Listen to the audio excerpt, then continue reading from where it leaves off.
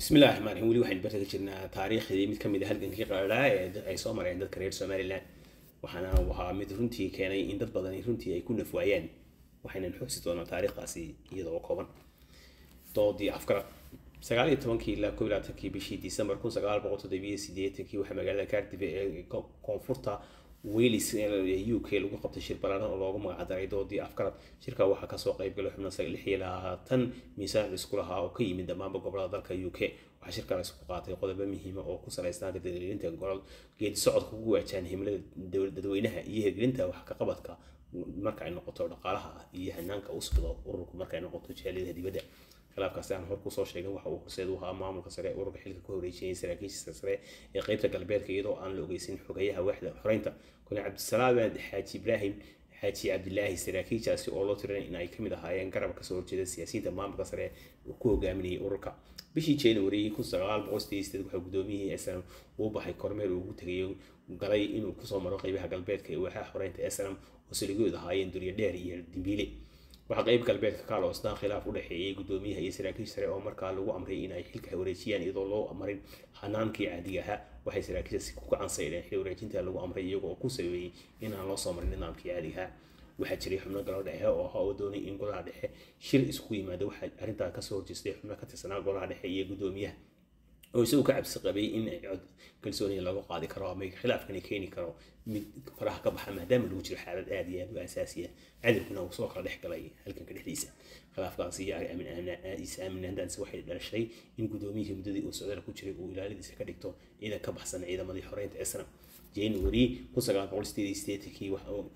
waxaa jeelga ciidanka xabashida ee xarshin lagu xidhay hogaankii sare ciidamada qeybta galbeedka kuwaasoo kale ahaa mujaahid maxamed cali cilmi samater mujaahid muuse bixi cabdi mujaahid ibraahim xuseen dhegaweyne iyagoo si deg deg ah isla markiiba loo gudbiyey jeelka jijiga waxaa ka badbaaday xadhigaasi mujaahid axmed xirsi xuusho kowdii bishii february sanadii kun sagaal boqol sideed waxaa lagu wari helay dhammaanba saraakiishii qeybta galbeedka inay ka soo qeyb galaan shir lagu qaban doono xarshin. Saddexda galabnikaas laakiin ma ay suurtagelin in shirkaasi ay yimaadaan xarshin. Kana qayb galaan shirkaasi sababtoo ah waxaa gaadhay cabdiraxmaan xuusho oo uga warramay wixii xarshin ka dhacay iyo sida xaalad u tahay oo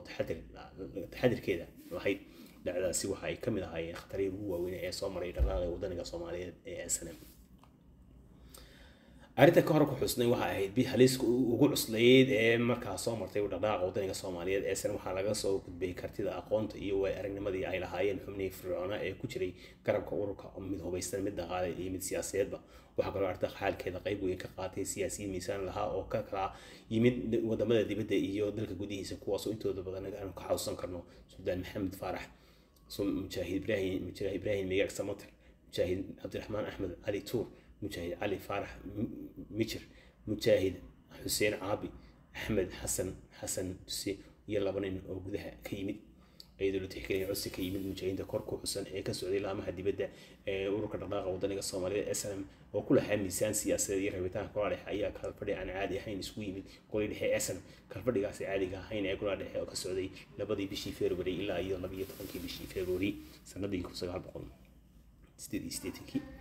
february sideed sideedkii kadib markii uu ka baraandegay howlgallada kala duwan ee ururku qiimeyn xaalada siyaasadeed ee halganka hubaysan galay si qoto dheer oo dimuqraadiyeysan iyo wadatashi ku salaysan uga dooday arrimaha golaha. Lasoo hordhigay waxa uu go'aansaday toddobiyo toban qodob oo muhiima waxaana ka mid ahaa in awood buuxdan loo siiyo guddida irkooyinka laamaha dibadda ka tirsan in ay go'aanka madambeysaha ka gaadhaan arrinta labada xubnood ee golaha dhexe ka tirsan muuse bixi cabdi iyo cabdi iyo cabdi cali mahdi kole wuxuu farayaa in go'aanka guddidaasi noqdo mid cid waliba u hogaansanto in la dhimo tirada guddida joogtada oo laga dhigo koob iyo toban xubnood in guddida fulinta magacooda guddi baaris qoto dheer ku samaysa qaabka dhismaha ururka aftaalooyin talooyin ee ka soo jeedisa. Kalfadhiga labaad oo aan caadi ahayn wuxuu farayaa guddida joogtada iyo guddida fulinta waajibaadka iyo qaabka wada shaqeynta ay yeelan doonaan xeelalayaasha ururka qaabka wada shaqeynayo waa in guddida joogtada ah iyo guddida fulinta u dhammaan yihiin muddo bil ah laga bilaabo labayo tobanka bisha labaad sanada kun sagaal boqol sideed sideetanka inka fadhiga caadiga ah ee golaha dhexe uu ku beegan lado bisha abril sanada kun sagaal boqol sideed sideedka bisha abril laga bilaabo kalfadhigaasi afraad ee aan caadiga ahayn. Shirweyne ku saabsan abuuritaanka golayaasha guurtada beeraha somalilan wuxuu golahaasi faraya guddida fulinta in lagu taakuleeyo sidii dadweyne ururka taageera u sameyn lahaayeen guddi odayaal oo heer qaybood iyo mid deegaanba. Maamulkuna waa inuu hubiya in talada iyo codka guurta noqdo mid soo gaadha golayaasha hogaaminta ee ururka shirarka ururkuna ay u diyaarsan inay aqbalaan soo jeedintaasi. Guddida joogta ee kula dhexe oo ka koobnayd xubnahan. Maxamed ibrahim wasam hadraawi cabdi yuusuf ducaale ismaaciil xaaji cabdi muuse geere yaasiin axmed xaaji جامع صالح أحمد عمر محمد وسامي عرب نور الحمد لله أحمد صالح سعيد يوسف شيخ إبراهيم عبد حسن بسم الله.